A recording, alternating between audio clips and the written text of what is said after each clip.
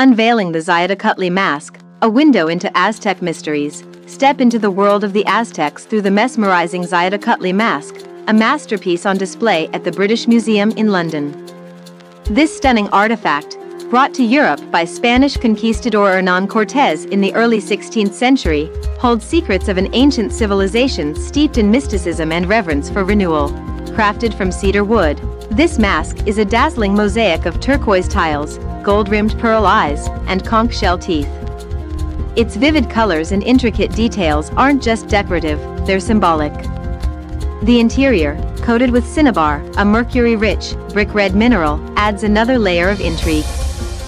Small holes in its temples hint that this mask was once worn, likely tied with strings to its wearer, Xiuhtecuhtli, or Lord of Turquoise, was the Aztec god of fire, central to rituals that connected the Aztecs to their beliefs in renewal and continuity.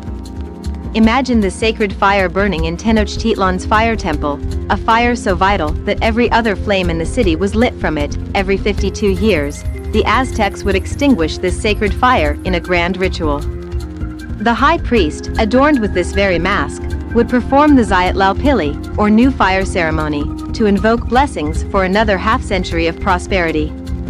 Look closer at the darker turquoise inlays on the mask, they form a butterfly.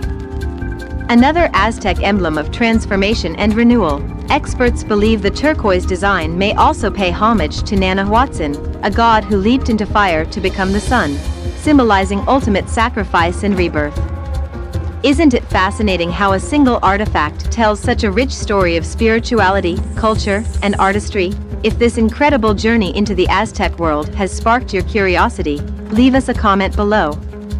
What do you think about the Xiuhtecuhtli mask and the Aztec rituals of renewal? Don't forget to like, share, and subscribe to our channel for more amazing dives into history's greatest treasures. Your support keeps the fire of discovery burning bright.